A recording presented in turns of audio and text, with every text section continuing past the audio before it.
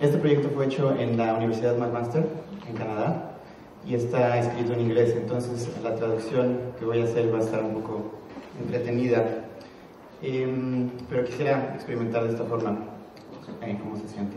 Bueno, yo soy Luis Navarro y voy a presentar este em, paper que se llama Cacharpo, eh, tocando cumbia sonidera con abstracciones profundas. Y fue desarrollado, este paper es el resultado de una tesis de maestría eh, supervisada por David Osborne en la Universidad McMaster en, Canadá. Em, lo, que va lo, que vamos, lo que voy a platicar eh, realmente nada más va a ser qué es Cacharpo, eh, las motivaciones para crear este sistema, eh, voy a platicar un poco sobre la implementación y voy a hacer un pequeño demo y luego vamos a abrirlo a, a discusión y a preguntas. Y bueno, ¿qué es, em, ¿qué es Cacharpo?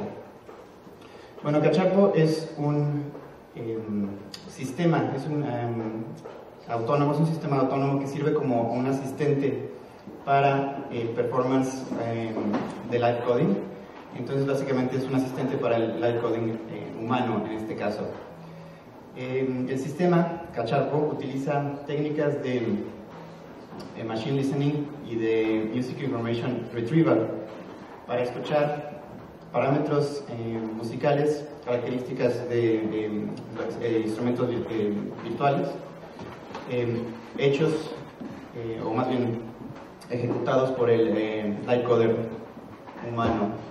Y bueno, la idea de Cacharpo es que responda a, a estos parámetros musicales y a estos sonidos a través de escribir código y hacer eh, y ejecutar música o bueno, tocar música él mismo o bueno, no es él o ella, esto mismo. Eh, Cachapo eh, se enfoca en esta, en, esta primera etapa del sistema en un género musical desarrollado en la parte central de México que se llama cumbia sonidera y que está derivada de la cumbia colombiana. Pero, ¿qué es un cacharpo? La palabra, bueno, la idea eh, de esta diapositiva es platicar un poco sobre la, de dónde viene esta palabra, cacharpo. Y eh, esta palabra viene de, bueno, en la, en la, en la, parte, en la Ciudad de México existen estos eh, microbuses, esos autobuses que se llaman microbuses, que ya bueno, realmente están casi extintos. Em, y bueno, esto es un transporte público que, que, bueno, de pasajeros. Y dentro de este transporte público hay una persona que trabaja y que es básicamente el asistente del, del conductor. Entonces, un cacharro es esta persona por acá, esta persona por acá y esta persona por acá. Y básicamente las tareas del cacharro son recolectar el, el dinero del, decimos en, en, en el pasaje o el dinero, el costo del, del, transporte. Eh, también se dedica a gritar la ruta del, del, autobús, hacia dónde va el autobús para que eh, gente que quiera tomar el autobús sepa hacia dónde va, el, eh, hacia dónde se dirige. también una parte muy importante del cacharro es escoger la música que se va a tocar dentro del autobús. Y bueno, lo más importante es que este cacharpo no solo es el asistente, sino que él aspira a ser el conductor del autobús. Las motivaciones para hacer, bueno, de ahí fue donde tomamos el, nombre. Las motivaciones para hacer este sistema son eh, bueno, yo trabajo con un colectivo que se llama eh, Reggaetron y cuyo acrónimo es RGGTRN. Y es un colectivo, ahora por el momento somos cuatro personas, en el que nos enfocamos en, la improvisación del live coding y em, hacemos eh, música derivada de géneros latinoamericanos em, a través de, de, técnicas de live coding. Parte de nuestra investigación es Em, sí, descubrir cómo podemos implementar cumbia sonidera o cómo podemos tocar cumbia sonidera con técnicas de live coding. y bueno, que sea, que sea bailable y que, realmente suene a cumbia sonidera que nuevamente, bueno, es un género musical que se desarrolló en, empezó a desarrollarse en 1980 en la parte central de México y se deriva de la cumbia colombiana.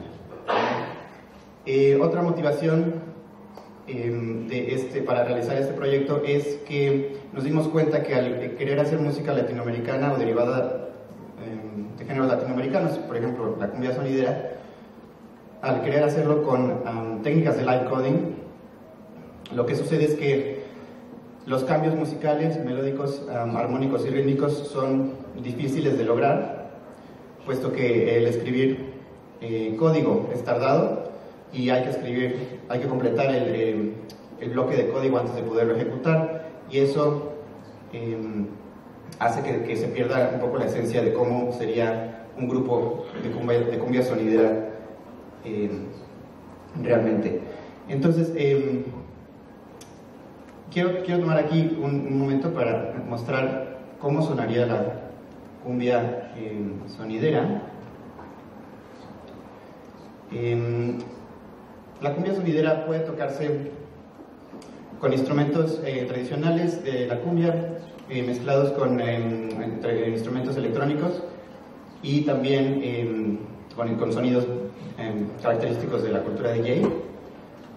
Pero también existe, em, originalmente se tocaba em, o, se inició con eh, DJs, básicamente DJs que, tenían sus em, camiones sonideros y ellos eh, sin instrumentos, digamos, tradicionales o, electrónicos, sino simplemente con su sonido.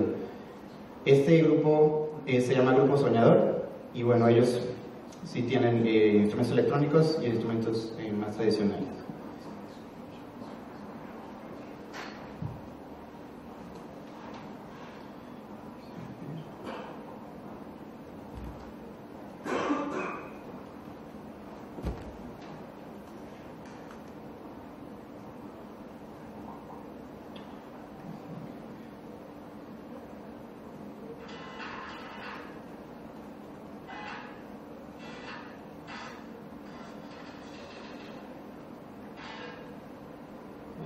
Creo que el sonido no está funcionando. ¿Llega ahí? ¿Se puede sacar por HDMI?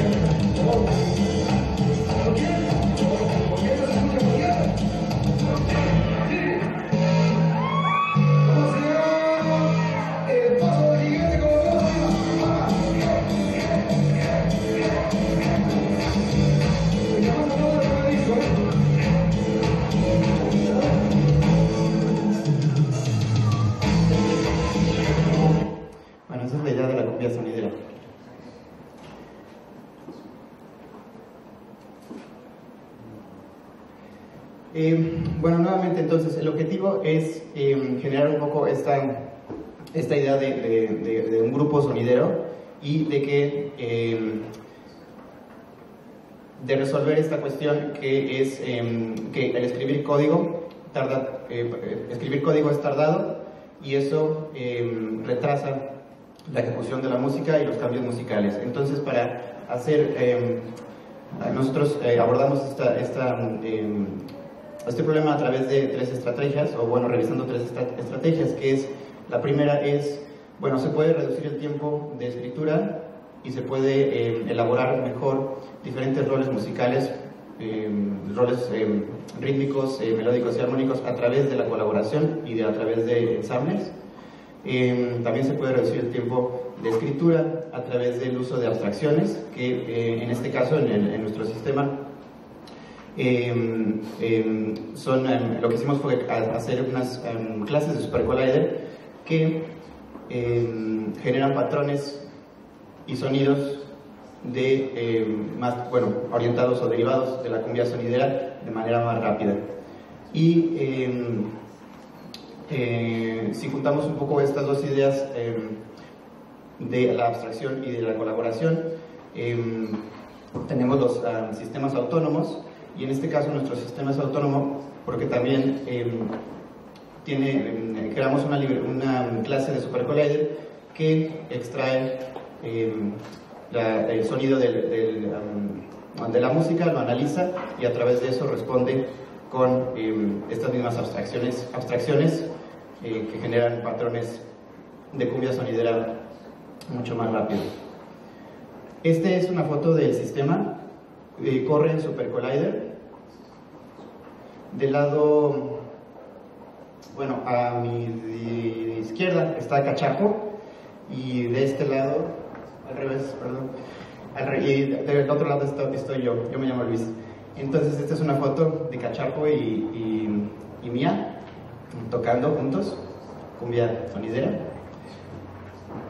Y bueno, em, para, para, crear esto tenemos cuatro eh, eh, sistemas em, o cuatro módulos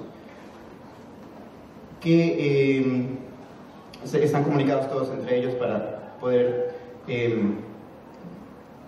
analizar la música y poder responder a ello. Entonces, básicamente Em, bueno, y tenemos tres, tres em, capas, de, o bueno, tres, em, un poquito difícil traducirlo del inglés, pero este es nuestro diagrama. Lo que sucede al principio es que tenemos música que genera el bytecode humano, perdóneme, eh, código. Esto, bueno, se ejecuta en Super Collider, se analiza en Super Collider y se extraen descripciones de audio de bajo nivel eh, esto se manda de supercollider a una red artificial y eh, la red artificial lo vuelve a analizar para crear abstracciones un poquito más, o más bien descripciones más eh, de alto nivel. Se regresa a supercollider y de ahí em, em, el supercollider, la, una clase de supercollider toma decisiones para que el Cacharco pueda escribir y pueda ejecutar música y finalmente eh, el sonido sale por Super Collider y por las bocinas.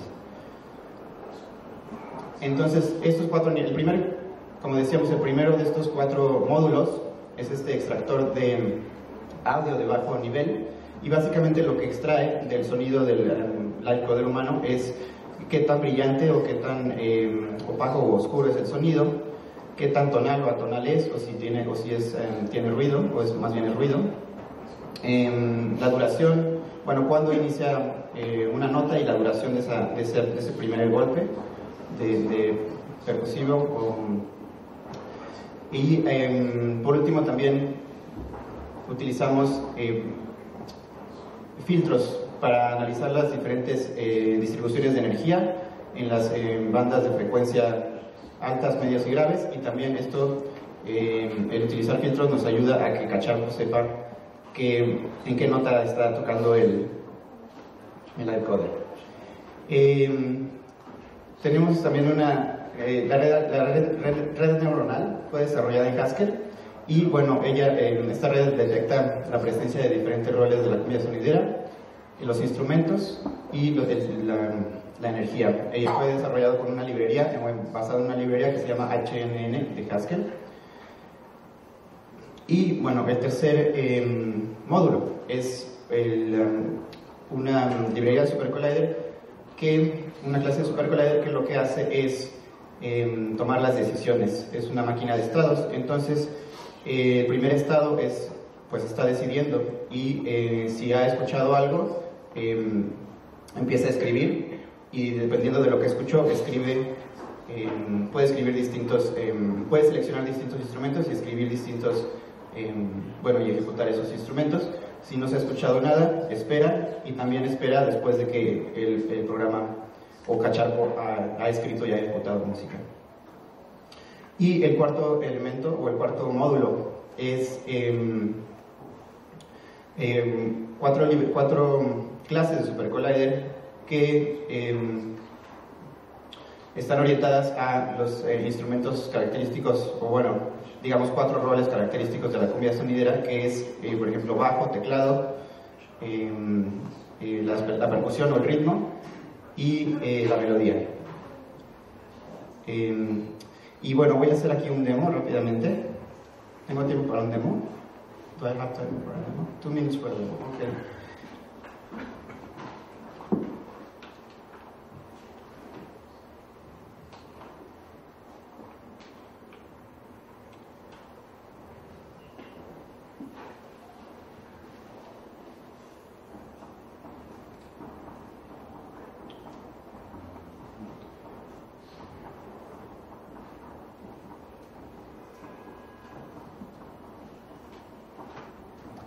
Es un poco, es un poco lenta. Después de que después de que entrenamos a cachar, pues se volvió lenta. Ok, esto debe estar funcionando ahora.